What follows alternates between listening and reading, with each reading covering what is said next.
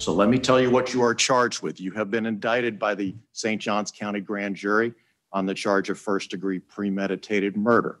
That is a capital felony that is normally uh, punishable by up to death or life imprisonment. In your case, because you are not yet 18 years old, death is not a possible sentence pursuant to the Florida and United States Supreme Courts, but this charge does carry a maximum penalty of life imprisonment. Do you understand the charge against you? Yes, sir. All right, there is probable cause to detain you on this charge uh, pursuant to the indictment issued by the uh, St. Johns County Grand Jury yesterday, as well as the arrest affidavit that I have uh, previously uh, reviewed. Uh, the indictment in capias that followed set your bond at none. Is the state still asking that he be held without bond? 14 year old Aiden Fucci accused of murdering 13 year old Tristyn Bailey, young girl cheerleader, stabbed 114 times. Absolutely horrific, horrific murder. He's locked up. Now, I want to show you another picture. Take a look at who also got arrested. That's Crystal Smith, Aiden's mom. Let me read from the arrest report so you know what they are charging her with. After Aiden Fucci left voluntarily with deputies, all right, so deputies went to the house and Aiden Fucci, the 14 year old, left with deputies. The defendant, that woman, Crystal Smith, can be observed on her video surveillance going to Aiden's bedroom at approximately 12:55 hours, retrieving what appeared to be a pair of blue jeans, taking the jeans to the adjacent bathroom and appeared to be scrubbing the jeans in the bathroom sink. The defendant then was observed on video taking the jeans to her master bedroom for a period of time.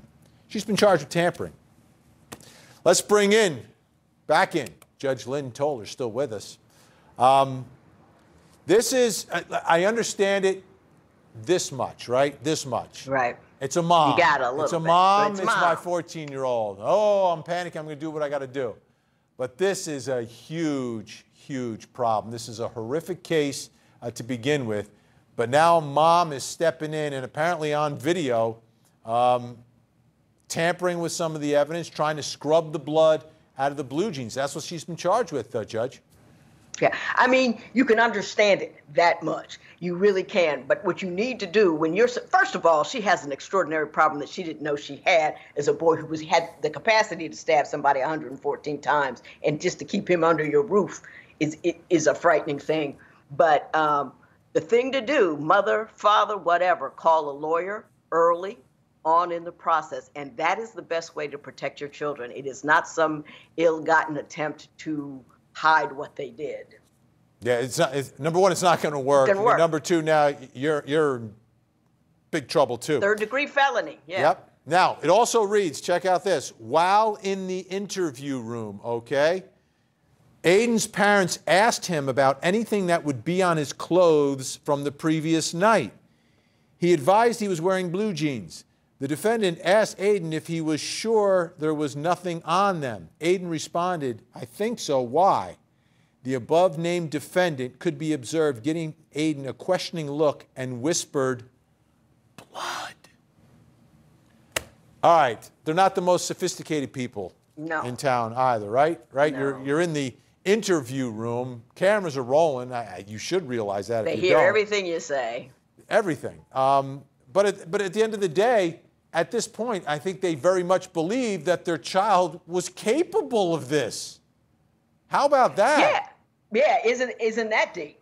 Isn't that deep? But you know, it's it's how he was raised and, how they got into that position of killing. I mean, stabbing somebody 114 times. It's uh, Well, let me ask you, Judge. Now, this this is this will always be the overriding issue, right? We've got a 14-year-old. He's not going to get the death penalty, okay? That's that's not enough. can't but, do it. But Right. life life is a possibility here, and there are a lot of people who say 14 years old, the brain's not developed, et cetera, et cetera, et cetera. From your perspective, looking at our system of justice, I mean, it doesn't get worse than this, right? 114 times, Right. 13 year old, innocent, beautiful little girl, uh, her life taken. What's, what's justice here if, in fact, he's responsible?